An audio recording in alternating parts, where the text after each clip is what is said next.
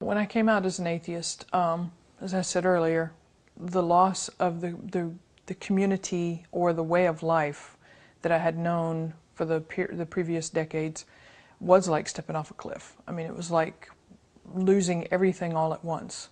So it was pretty devastating. The thing that surprised me, however, was the way that the, the secular community really rallied around me.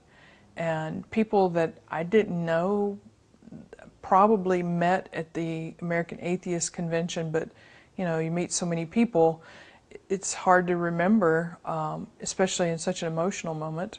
Uh, they're, they're friending me on Facebook and they're sending me private messages constantly saying, how are you doing?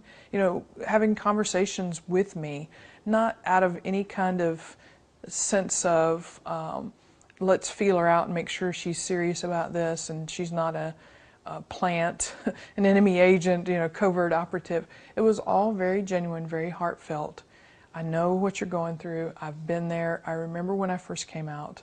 Um, here's some things that worked for me. I mean, it was community, really. That's what we're talking about. Community exists, and by our own nature, we want it. And uh, I experienced it all the way through everything I've been through over the last you know 11 months has been uh, about a network of freethinkers rallying around me, as I said, and supporting me and supporting my family even.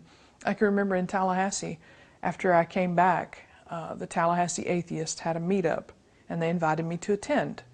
And they were supporting me, I mean, in a community uh, atmosphere. So I attended.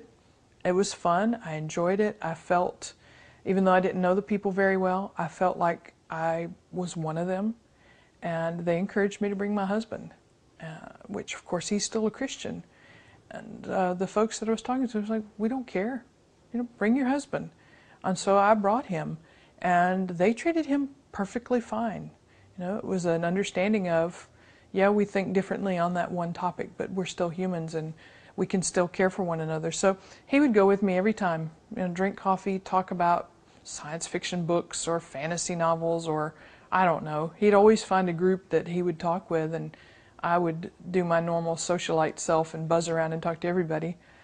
Uh, even after I moved to New Jersey and he stayed in Florida, he went to the atheist meetups on Sunday morning instead of going to church, which I think is absolutely hilarious.